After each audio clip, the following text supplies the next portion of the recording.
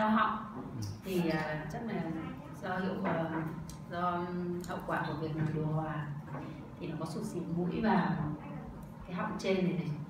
Rất là rát khó nói gần như kiểu là nói nó khó thành tiếng. Nên là hôm qua đến thầy à, dán cho một bộ ở trên mặt bằng cao dán sau khoảng à, về sau đến cái lúc chụp ảnh nha. Là khoảng hai tiếng rồi nhỉ? Khoảng hai tiếng. Thì lột ra thì quả thực là quả thực là cái cái họng này không còn rát nữa. Không cái đấy thì đúng là thật sự là hôm qua sáng nay có nói với thầy là cũng không muốn nói bởi vì sợ là nói ra không ai tin nó thần kỳ quá. Đúng thật. Không không còn rát một tí nào và nói dễ nói hơn.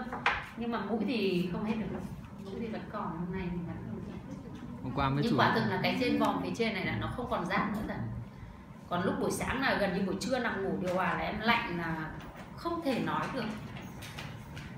Rất là rát rát mình cảm giác là rát ở trên cái hôm qua chỉ nói đau họng chỉ dán cái họng không dán mũi. Dán mũi chỉ tiêu viêm và phản chiếu họng thôi họng ở đây và họng ở đây. Có cái ảnh rồi áp lên rồi và hai cổ tay nữa. Hai cổ tay nữa.